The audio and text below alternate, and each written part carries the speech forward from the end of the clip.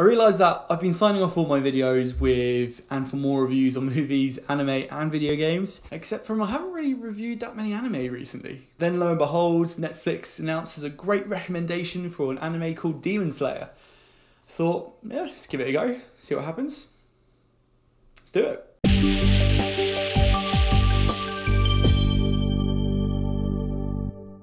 Demon Slayer Demon Slayer is this gory yet quite comedic action shonen anime. And when I say shonen anime, if you've seen things like Dragon Ball Z, Naruto, Bleach or One Piece, you kind of get the genre I'm talking about. We follow this young boy who lives up in the mountains who has his entire family slaughtered by demons and to also find that his sister's been turned into one. And so we begin this quest for him to find a cure to turn his sister back into a human and in doing so, joins up to become a demon slayer. It starts off as this simple premise which, over the course of these 26 episodes, slowly becomes this broader and larger world which I can't help but say was great to watch. Maybe don't binge the show like I did, otherwise you might come out like Robin Williams and Jumanji just going, What year is it? And for those concerned, this is going to be a spoiler free review, so don't worry about me spilling any of the good stuff for you. But I want to kick off with what kind of won me over with the show in the first place, and that is the visuals.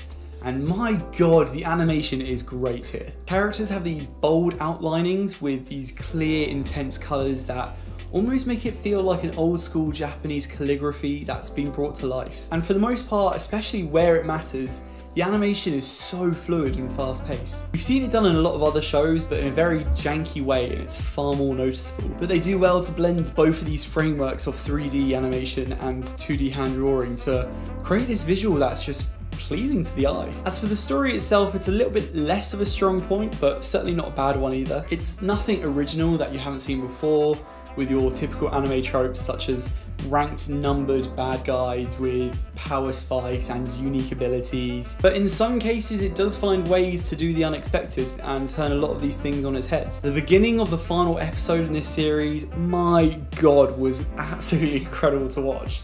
I wish I could talk a bit more about it, but I don't want to ruin it for everyone. But let's just say that this show uses its 15 rating really well for its story, especially with the demons in particular. Some of the designs are just fascinating to look at.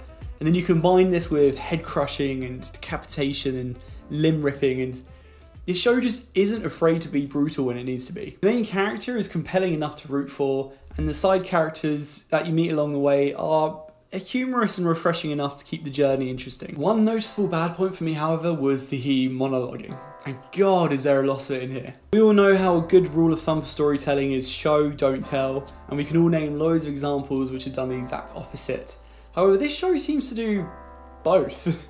it has quite a lot of moments where it feels the need to over explain itself. We see these cool, intense moments happening only for the main character to then describe it exactly word for word. It makes for a bit of repetition and a few no shit Sherlock moments. And that aspect of this takes quite a bit to warm up to. It does start out quite annoying in the first few episodes, but as you dive deeper into the show, you become more and more willing to look past it. I don't know what his name is off the top of my head, but this dude is very annoying in particular.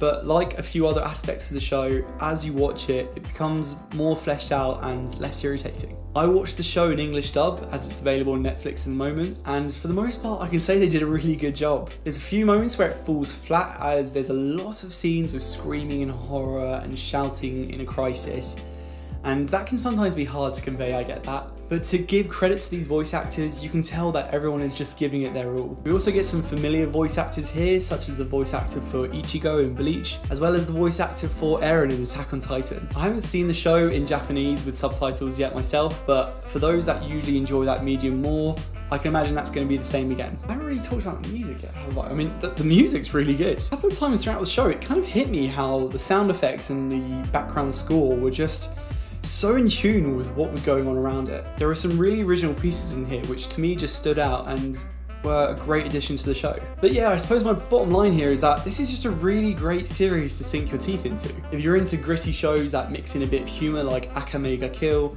or also just like shows that have their unique distinct art styles similar to Attack on Titan, then I think you're really going to enjoy the show. But yeah, that's it from me here today, guys. Thanks a lot for listening. Let me know if you've seen Demon Slayer, what your thoughts on it might be. Let me know in the comments below. And if you did like this video, please feel free to show your support by leaving a like or subscribe. And as always, stay tuned for more reviews on movies, anime, and video games. Until next time, guys, take care. Bye bye.